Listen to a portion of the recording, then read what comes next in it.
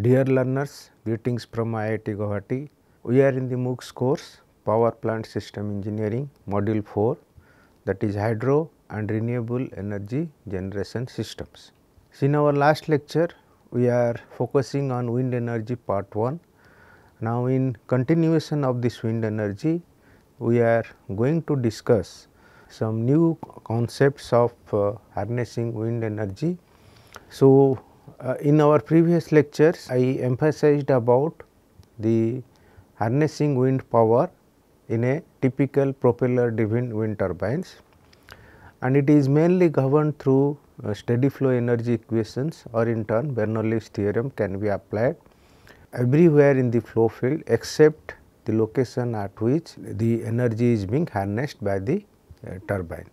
Now, uh, similar concepts can be extended for other types of turbines to have a better design of those kind of innovative wind turbine blades for localized power or where the velocity of the winds are relatively less, then we need to think about the governing aerodynamics principles of it.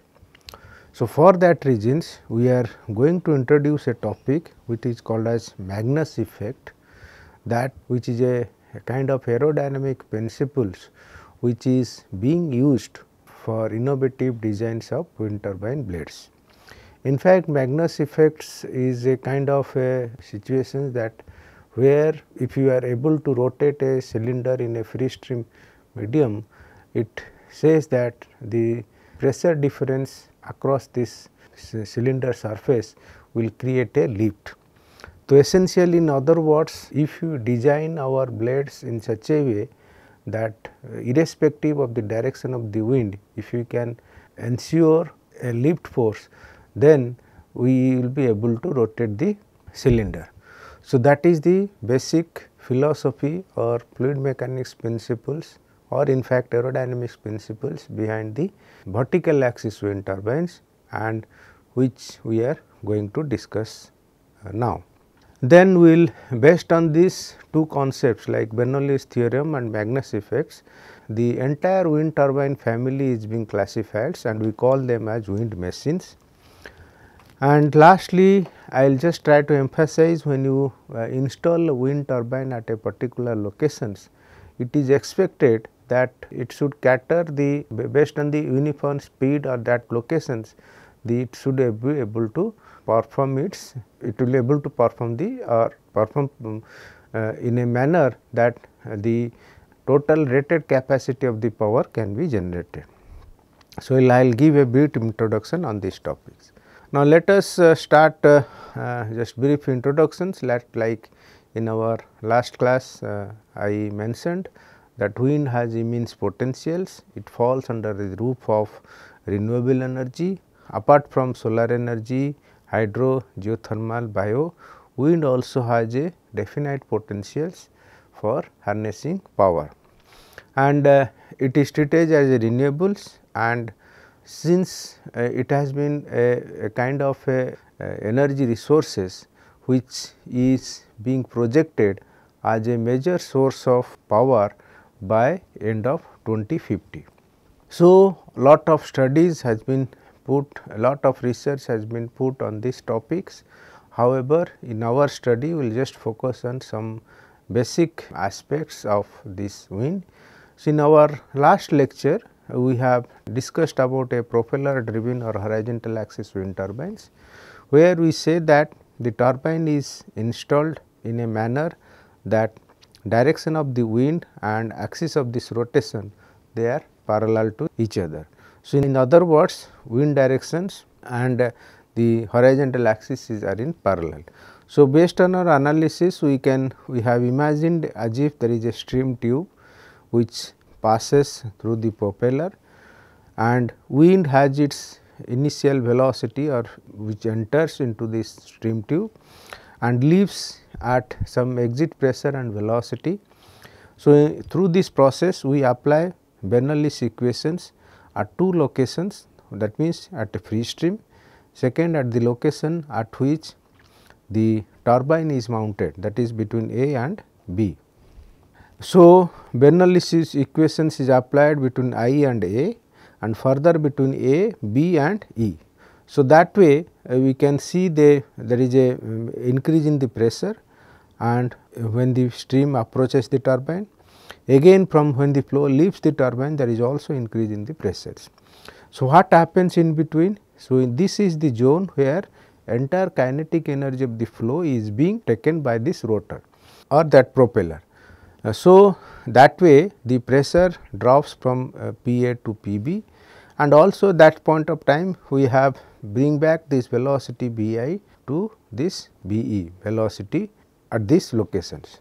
So, what we have seen here is that uh, through this analysis we have defined the term what is the total power that can is available in the wind and through this particular arrangement what is the maximum power that we can extract and difference between them gives rise to uh, the maximum power coefficients. And this maximum power coefficients uh, you can see here it is independent of any kind of wind turbines blades or uh, are independent of materials or independent of uh, the wind velocity and all. So, that is the reason we put this uh, maximum power coefficient as a what is called as Betz number. That number happens to be 0.593 and the Betz limits indicates that maximum power can be extracted from wind is independent on the design in an open flow environment because it is a fixed number. So, that way one can plot the power coefficients as a function of tip speed ratio. But what happens here is that when you install a particular turbine at a given locations, it depends on uh, three major factors. One is what is the maximum swept area or capture area that we can achieve.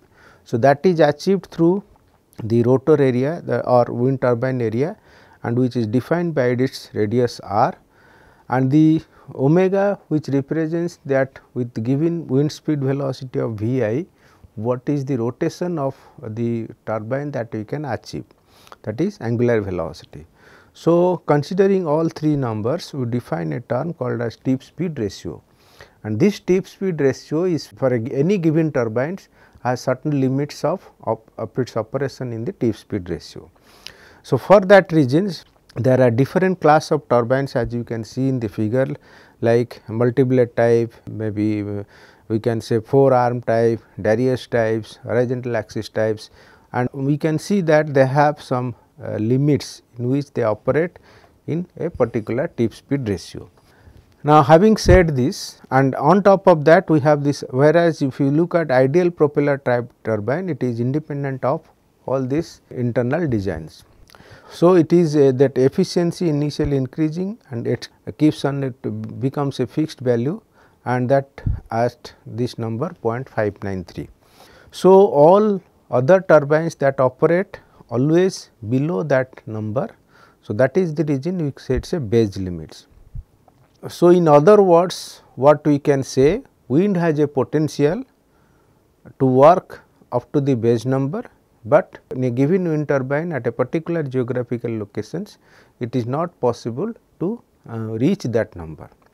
So, that is what we have different ways that uh, how we can achieve and if and ways to design the blades of the wind turbine to achieve this.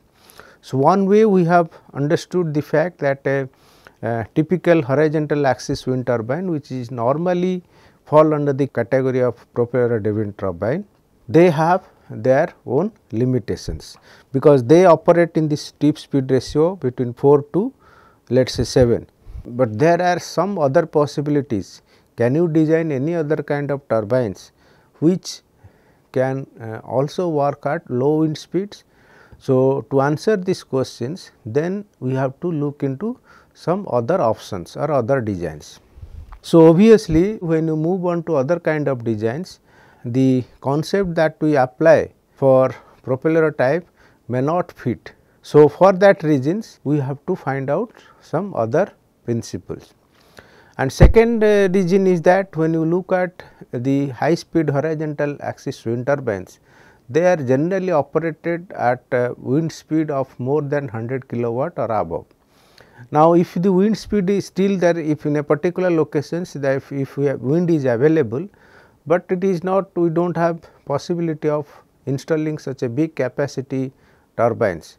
So, can we think of having a installing a small capacity turbines which will incur less structural stability which uh, because horizontal axis wind turbines are very prone for axial thrust and because they operate at higher wind speeds. So, for that reasons we have to go for some other alternative solutions. So, that is where this Magnus effect comes into pictures. So, this Magnus effect is a typical aerodynamic principles which says that we can think of a lift based uh, wind turbines rather than conventional propeller wind turbines. So, what is that lift based wind turbines? Because they are governed by this Magnus effects. Now, what is the advantage of those turbines? Because they can be useful or they can be considered as novel small wind turbine novel designs and the power generation may be less than 100 kilowatts. So, they operate at low wind speeds and they fall under category of uh, rotor type one uh, like Savonius rotor, Darrieus rotors. Okay. So, those turbines we can design those blades and that blade should be lift based designs. That means, if you are forcibly from the wind speed at a given locations, if there is a wind available at certain speed, through that speed if you can design some turbine blades which can generate lift on those designs, then obviously the system will rotate or this rotor will rotate. So, this is what exactly Magnus effects talks about. So, for the time being let us not talk about the turbine itself rather we will just talk about what is this Magnus effect tells us, what inference we get the Magnus effects. So, the Magnus effect demonstrates that a lift force is generated if a horizontal cylinder is rotated about its axis and moves through the still wind. Conversely, if a stationary horizontal cylinder is rotated about its axis in a crosswind, it will generate a lift force. So, in other words that we will try to see this Magnus effect in a this, this is what about the horizontal cylinder. Now, this Magnus effect we will try to see if it happens to be a vertical cylinders. So, effect is equally applicable to a vertical cylinders when it is rotated about an axis in a crosswinds. So, it will experience a force perpendicular to its axis which will cause it to move in the direction perpendicular to the wind. So, in other words we can think of a vertical cylinder if it is placed in a crosswind and we are able to generate a lift then obviously the cylinder will rotate.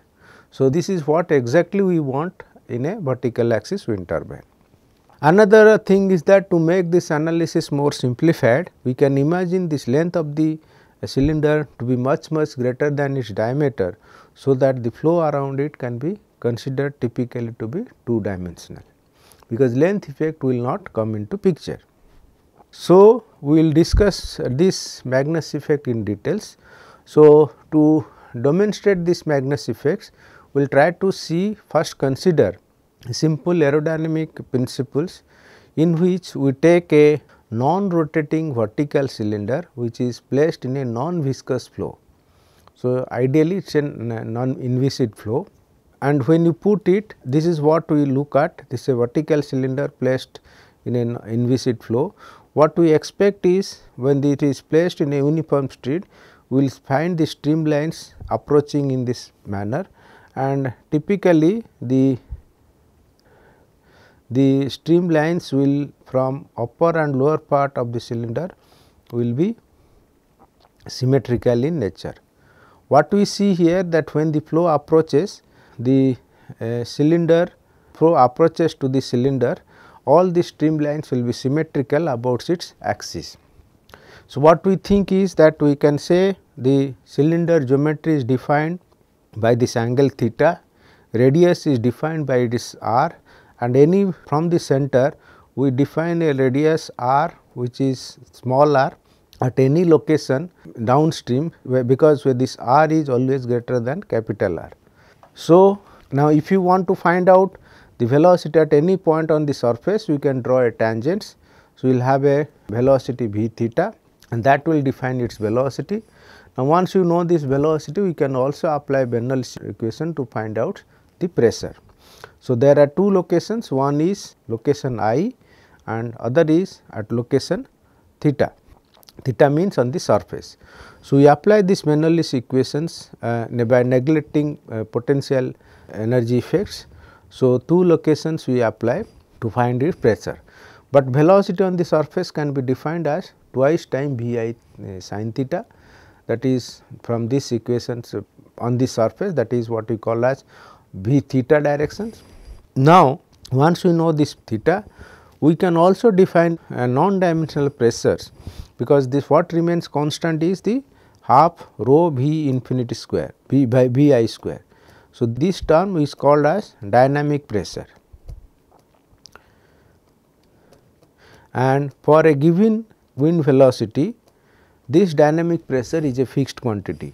So, a non-dimensional pressure can be defined which is nothing but the pressure difference between uh, at any point on the surface and the free stream pressure divided by this dynamic pressures. And it happens to be the fact that P star theta becomes 1 minus 4 sin square theta. So, a close look on this analysis we can see that it is quite obvious that uh, when velocity is low pressure is higher, velocity is more pressure is lower. So, obviously from this analysis we will have stagnation points at two locations for which one is at theta is equal to 0, other is at theta is equal to 180 degree. So, at this location theta is equal to 0 degree, at this location theta is equal to 180 degree. So, we have the stagnation point. Stagnation point is well means this velocity flow velocity becomes on the surface becomes 0. So, when we have velocity becomes 0 at that point pressure is happens to be maximum. Now, so that way we can say that at stagnation point your p star theta is equal to 1 and velocity is 0. Now, moving on to these things and if you take a kind of a streamlines uh, and velocity distribution pattern for this oriental cylinder if you can find uh, we will have for a given velocity V i you will see that there will be a uniform pattern of pressures velocity on this entire surface of this cylinder along its axis. When the, the flow pattern is symmetric about this axis and since the flow pattern is symmetric in axis. So, obviously, what conclusion that we can draw is that there is no resultant force either parallel or perpendicular to the undisturbed streams. Hence, there is no drag or uh, on the cylinder or there is no lift force.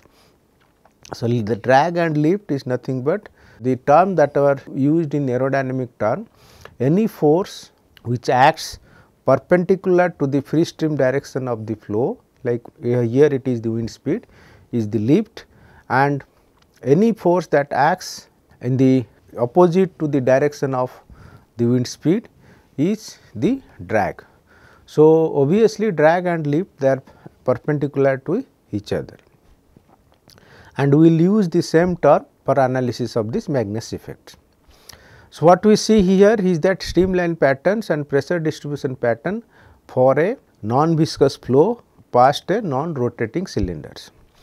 Now, let us move to the next effect and this is instead of keeping this cylinder non rotating you start rotating the cylinder at certain velocity but keep this air stream as stationary.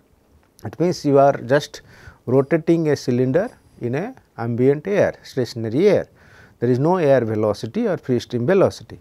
So, that way if uh, the main effect will be a uh, that means you are inducing a circulatory flow around a rotating cylinder. That means, so through these rotations the air also feels the effect of some circulating actions due to these rotations. Of course, the effect is more predominant in the vicinity of the cylinders, but far away from this cylinder we have uh, this still we have free stream velocity V i, pressure P i and far away from this side also free stream pressure and free stream velocity is remain same. So, that means far stream is not affected, but the vicinity of the cylinder gets affected through this rotation of the cylinder. So, here what we observe here is that the rotation of the cylinder produces circulatory flow around it, but air far away from the stream is still at rest. Now, when we say that air when uh, then what velocity it rotates to do that it can be shown that the velocity is inversely proportional to the distance from the cylinder axis and for which we can put a dimensional constant and that dimensional constant is termed as the circulation. So, if you say this radius of the cylinder is r and any locations which is small r beyond this cylinder radius, we can find out the velocity in two parts. One is the cylinder peripheral velocity that is V p, other is velocity at any distance r from this axis. So, that is V r and typically peripheral velocity is, a constant quantity and we term this as circulation and that is also equal to twice pi r into V r. Now, from this uh, actually if, if for a given wind speed if it rotates if it makes number of revolutions so we can multiply n into it where n stands as number of revolutions per unit time. So, accordingly we can have the circulation uh, constant as twice pi r square into n. So, here what we observe that when a cylinder rotates in a still layer, it produces a circulating effect or flow around the cylinder. Now, we merge this or superimpose these two effects. So, first thing non-rotating flow in a uniform stream of air and rotating flow in a still layer. So, we have analyzed both the things separately. We have V theta here and here we have circulation here. And when you superimpose these two things, we will have a net effect which is nothing but we call it as a rotating cylinder in a stream of air. So, when we have a rotating cylinder that is a stream of flow, then we have these effects. And there we can have both the effects together. And this velocity on the surface can be defined at any location theta as two parts one is v theta other is Vp. Vp stands as this peripheral velocity and this peripheral velocity is a fixed quantity that is circulation by twice pi r.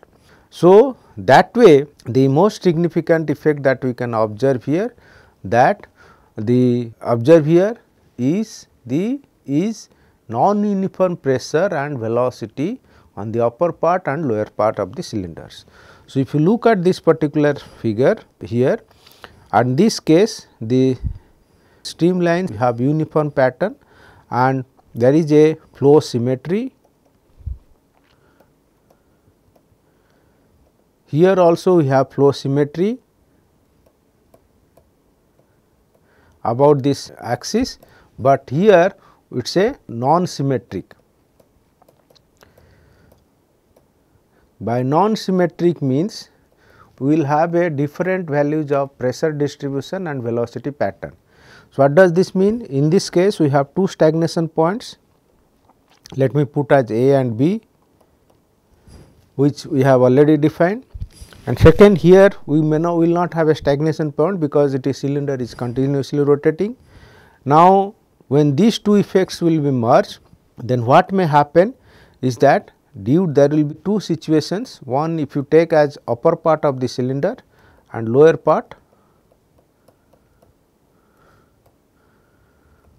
Now, the upper part of surface of the cylinder will experience a higher velocity because the velocity gets added whereas the lower part of the cylinder gets will get will be at lower velocity because the velocity is in they oppose the directions.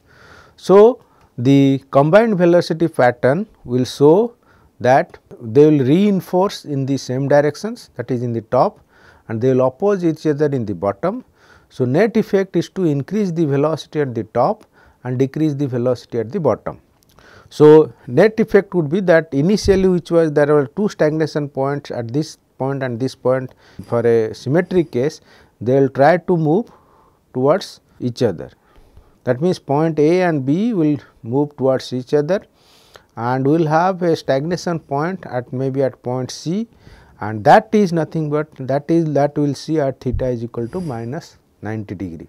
And from this analysis we can say that why the simple calculations why we say that velocity will be higher in the top because this expression will say that sin theta will be positive between theta is equal to 0 to 180 degree and for the bottom surface theta is equal to 0 to minus 180 degree sin theta is negative. So, this gives the fact that net velocity increase in the top surface there will be decrease in the velocity in the bottom surface. So, the other side of the effect of this velocity is that the pressure of the cylinder will be higher in the bottom and lower on the top. Now, through this process what we arrive at here that there is a pressure difference there is a pressure difference between top and the bottom surface and this pressure difference will give you a uh, upward force and this upward force is known as lift force. So, what we can conclude from this Magnus effect analysis is that when a rotating cylinder is placed in a stream of air, the higher pressure that is is felt on the bottom surface and it induces an upward force. And this upward force acts in the direction perpendicular to the stream directions and this upward force is known as lift force and this lift force is nothing but the combined effect of what we say integrating the pressure over the uh, projected area. So, in net effect of the pressure difference multiplied by area will give you the force and this pressure anyway we are going to calculate through this Bernoulli's equations. So, that way what is our analysis that we are going to see here? We are going to find out or use this Bernoulli's equation at two locations. One any point on the surface which is defined by this angle theta. So, we say p theta and b theta and here any location we say p i b i. So, these equations uh, are applied here. So, we find b at any point on the surface and we know that what is b because it is a rotating cylinder in a stream of air.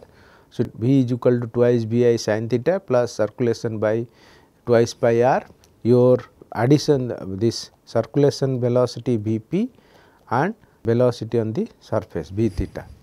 So, by putting this velocity term in this pressure equations, we have the pressure on the surface of the cylinders and the when we integrate this pressure over this frontal area and this frontal area or we say projected area, if you look at take this as projections of the cylinder to find out the projected area, we will have a rectangle.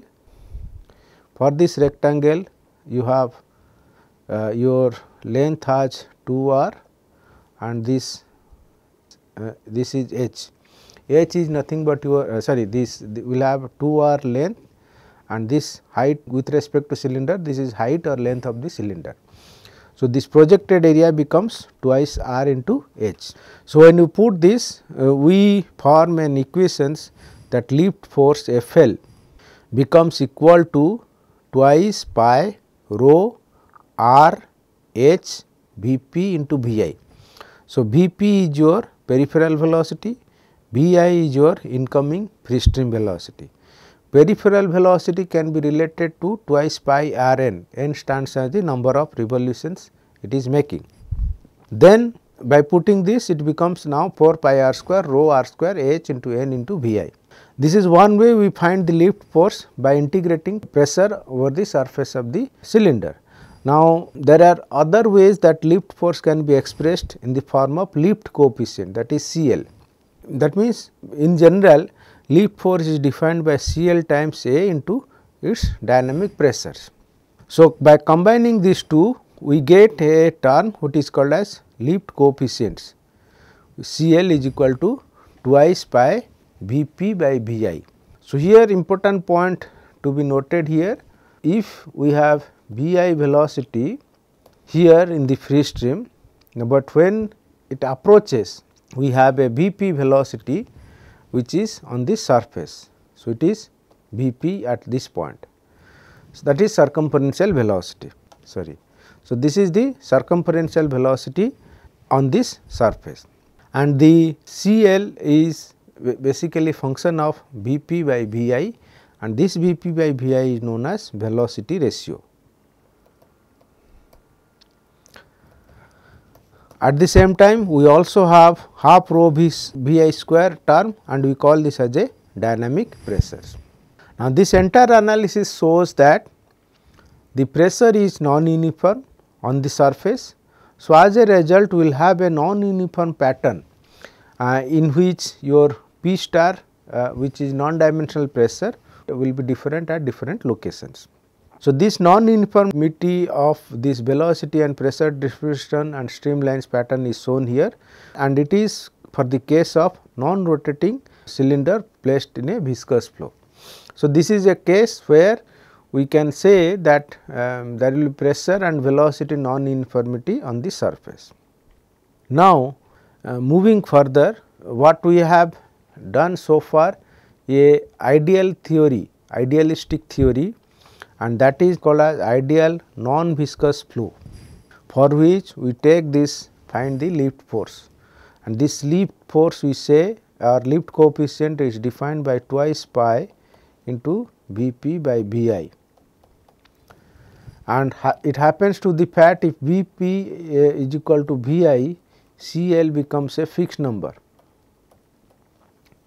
So, this is where the ideal theory is all about, but in reality this is not the case because there are issues like effect of viscosity, boundary layer separations that makes the flow in non-uniform pressure distributions.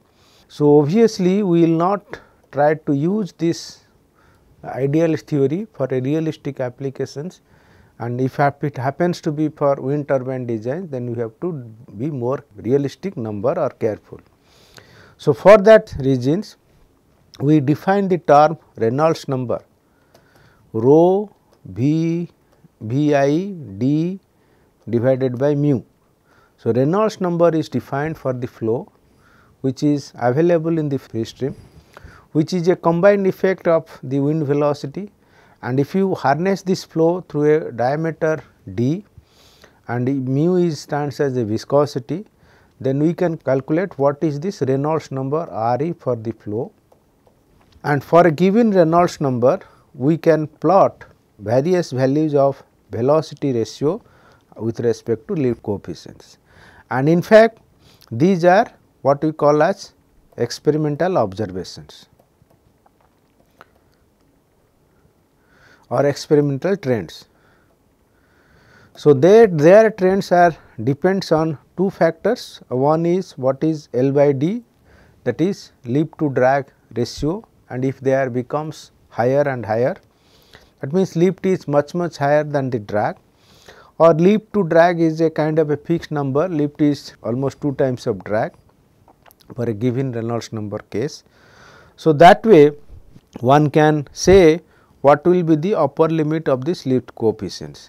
So, for an ideal theory lift to drag ratio when it goes to infinity, so it will lift to CL will keep on increasing, but that is not the trend. But realistic number if you can say for a particular velocity number this much uh, difference we can get. So, for example, at velocity ratio of 2 the ideal theory will give predictive lift coefficient of 12 but your experimental evidence will show lift coefficient something close to uh, maybe 4.5. So, that much difference comes into picture when for a non-uniform pressure distribution case that when the when you do the analysis for a realistic flow. So, that is the reasons we normally take the data from the experimental evidence for wind turbine calculations and that is dependent on this velocity ratio. Now, having said this lift force, we will try to introduce another term which is called as a drag. Drag is nothing but the force that acts in the direction of the stream. So, in other words when you say we say that when a rotating cylinder is placed in a stream of air, the drag force is the force in the direction of the stream. Now, uh, here in this particular case your drag force will be 0 because the Magnus force does not gives the indication of uh, the drag force because when you say velocity pattern and pressure distribution in the direction of the stream. But in general way we say this drag force F d is equal to C d times A half rho V i square and essentially this drag force is also a function of Reynolds number. So, in a ideal theory we have non-uniform pressure distributions. So, of course, when we have a lift force in an ideal theory there is a lift force that is C L is equal to 2 pi when V p is equal to uh, V i and for that case your drag force will be 0 that is the prediction from the ideal theory. But in realistic case when there is a non-uniform pressure difference then we will find that still there will be drag force. That is the reason what we, we call this for real fluid the pressure imbalance results a drag force in the direction of free stream. So, that is a function of again Reynolds numbers. So, essentially both lift and drags the coefficient they are function of Reynolds number and that has to be found out from the experimental observations.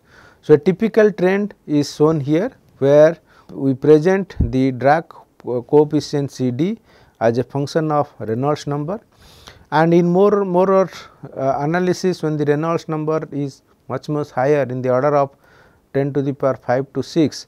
So, this is a closed number of C d approximately 0.4. So, this is all about the drag force knowing all these lift and drag force concepts, we are in now in a positions to define various designs of wind machines. So, wind machines are fall under the category that they are typically conventional machines which captures wind kinetic energy and converts it to power or mechanical work. So, we have shown two uh, fluid mechanics principles one is through Bernoulli's theorem other is through Magnus effects how we can harness power from wind by using these machines. Typically we call them wind machines are commonly known as wind turbines because these machines produce power. So, whatever produce power we call them as a turbines. So, specifically we call them as wind turbines and they are classified in four major category axis of the rotation, installation side, operation scheme and aerodynamic force. So, axis of rotation we have put at two category horizontal axis wind turbine, vertical axis wind turbine based on aerodynamic force which is the other extreme one is called as a drag based turbines, one other is lift based turbine, other is the combined. Now, other part of this that means for commercial point of view we call this as installation site. So, you can have offshore turbine or onshore turbine that means turbines are close to some turbines can be put uh, at close to sea other is from far away from the sea. Now, operation scheme it can be thought of having a, a fixed pitch control type or variable pitch control type. Other main important aspect is rotor diameter and power rating. So, rotor diameter and power rating they are fall under different groups from micro to large scales. And typically when you go from large scale type we take care about that is taken care by horizontal axis wind turbines, but when you go for lower side this is taken care by vertical axis wind turbines. But under that roof there are multiple ways we can go for innovative designs. But the, each of them has their own advantage and disadvantage. For example, when you say horizontal axis wind turbines, they are very good for more power generation more than 100 kilowatts, but they require a very safe structural side because they operate at higher wind speed. So, obviously, they are very prone for stability of the structure. And again at a given locations there are possibilities wind may not flow in a particular directions. But whereas the horizontal axis wind turbines are very prone to the direction of the wind. So, you have to find the wind locations otherwise it will give a detrimental effect. But whereas the vertical axis wind turbines their direction can be changed uh, from the based on the direction of the wind because of their geometric features. So, in a horizontal axis wind turbine the axis is perpendicular to this plane and in a vertical axis wind turbine if you can see this design so wind directions keeps on changing uh, from the entire surface. So, for horizontal wind turbines we call them as a rotor, uh, upwind rotor, downwind rotor. Vertical axis we call as a Savonius, Darrieus and Gyro Mills. Apart from this there are many other kind of things we have multi rotor, four arm rotor but many other designs and most important fact is that each of the designs they have a limitations of different tip speed ratio. So, for a given wind speed we require a fixed tip speed ratio. So, this is all about what is the basic difference because each horizontal axis and vertical axis wind turbine they have their own merits and demerits and uh, ultimately in the finally if you classify the wind machines based on this horizontal and vertical axis type we have this particular slide shows that most economical and power turbines that can harness wind power uh, as of now is of this type and moreover all lift based turbines they are based on Magnus effects and all drag based wind turbines they are based on the Bernoulli's theorem from our in a basic fluid mechanics or aerodynamics point of view. And last part that we want to focus on is that when you think about horizontal or vertical wind turbines, we have shown these particular classical figures which says the power coefficient as a function of tip speed ratio and each of these designs of these wind turbines have their limitations in their tip speed ratio. And why we say like this? Because when you go for power generation viewpoint, we expect that the turbine should operate in a smooth manner.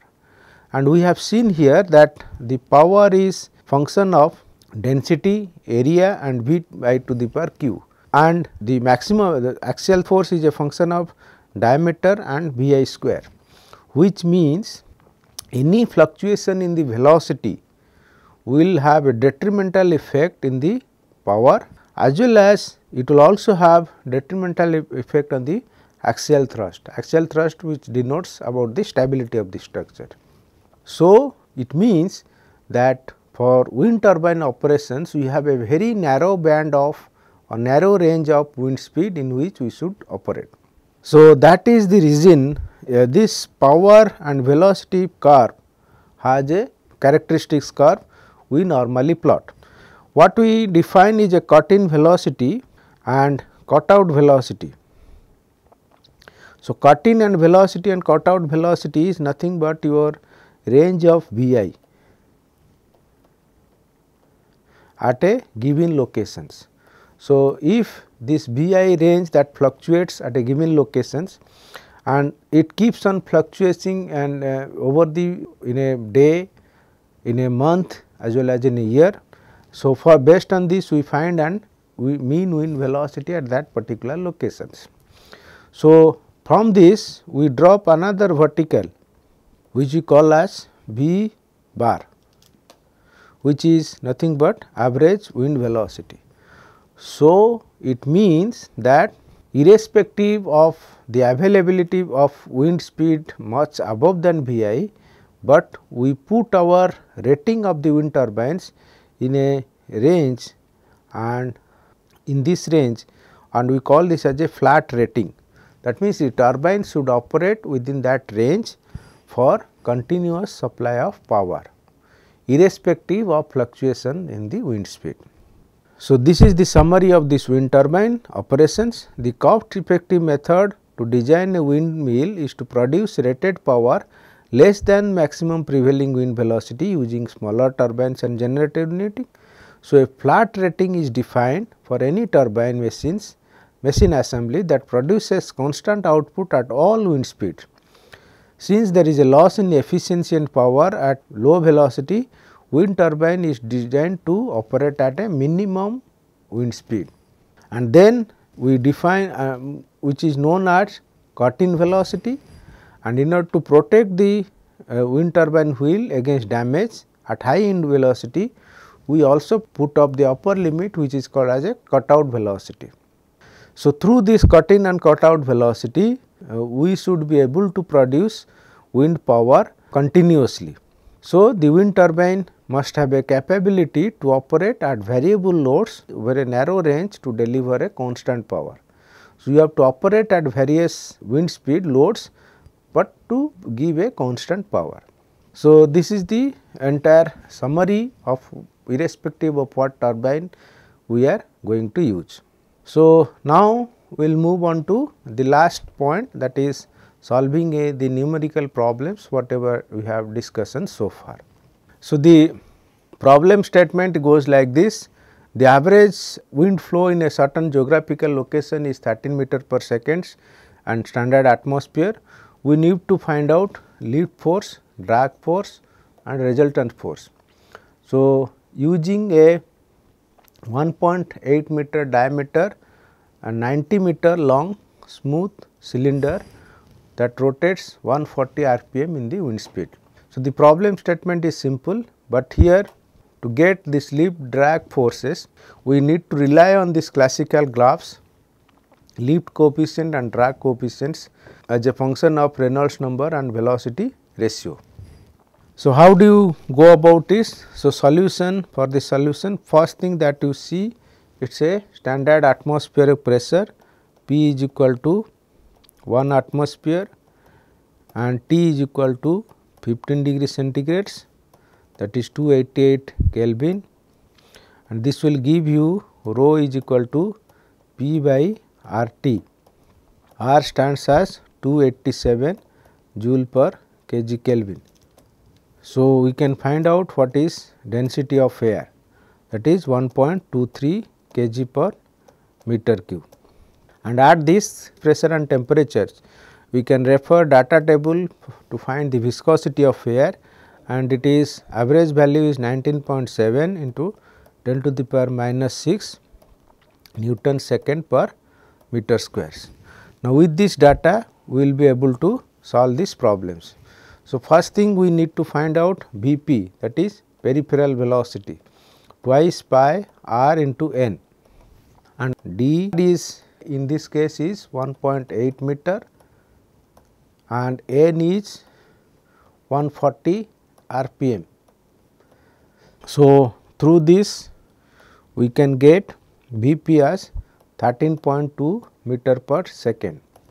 We have been given Vi as 13 meter per second. So, you can see that almost Vp by Vi ratio approximately 1. Now, for this case what is Reynolds number? Rho Vi d by mu. So, density is known 1.23, Vi is 13, diameter is 1.8, mu as 19.67 into 10 to the power minus 6. So, this is 1.46 into 10 to the power 6. So, we have all the things and of course, another term dynamic pressure Q infinity half rho V i square that is half 1.2 into 13 square. So, this number is 104 Newton per meter square. So, let us go to the basic expressions lift force F L is equal to C L times A into half rho V I square and A stands as the projected area that is twice R times h and this is 162 meter square. So, to find CL we require this graph for velocity ratio close to 1 and if you take an experimental observation graph and somewhere we have to take this middle plot because that plot fits closely to our Reynolds number value. So, at this location if you drop it. So, this number is close to 1 I mean approximately uh, we can say CL is can be approximated as 1 and then we can write this is 1 into area is 162 into 104. So, FL stands as 1 6 8 4 8 Newton and uh, this drag force F d C d times A half rho V i square. Now, for Reynolds number in the range of 6, if you go and take this particular graphs, the C d is close to let us say 0.4. So, we can say C d is equal to 0.4. So, this number now comes down to F d is will be equal to 6739 Newton. So, resultant force F is equal to square root of F d square plus F L square and this number is 18146 Newton and resultant force make an angle phi is equal to tan inverse F d by F L that is uh, close to 21 degree with respect to wind direction. Okay. So, we have lift force, drag force and resultant force.